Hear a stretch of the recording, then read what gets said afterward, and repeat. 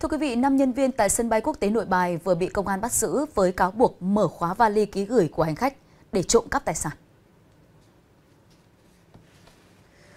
Cụ thể, Công an huyện Sóc Sơn, Hà Nội cho biết, đơn vị đã khởi tố vụ án, khởi tố bị can đối với Phạm Văn Trường, 33 tuổi, Nguyễn Minh Thảo, 29 tuổi, Trần Văn Thành, 31 tuổi, Phạm Văn Tuấn, 27 tuổi, Nguyễn Văn Thịnh, 29 tuổi, để điều tra về hành vi trộm cắp tài sản.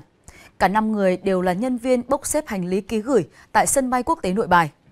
Theo điều tra, ngày 23 tháng 8, đồn công an sân bay Nội Bài nhận được phản ánh của nữ hành khách quốc tịch Đức về việc ngày 22 tháng 8, chị bay chuyến Hà Nội Cam Ranh.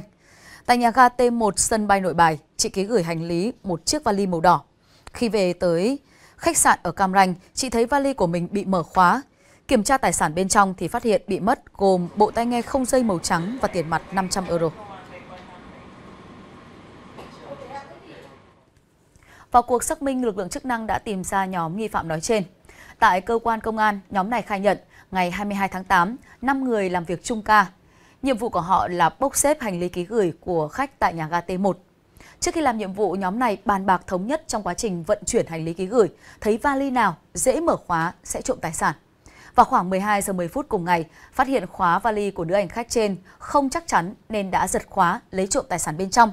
Cả nhóm cũng khai nhận với những cái thủ đoạn tương tự thì đã thực hiện chót lọt nhiều vụ trộm cắp tài sản trước đó.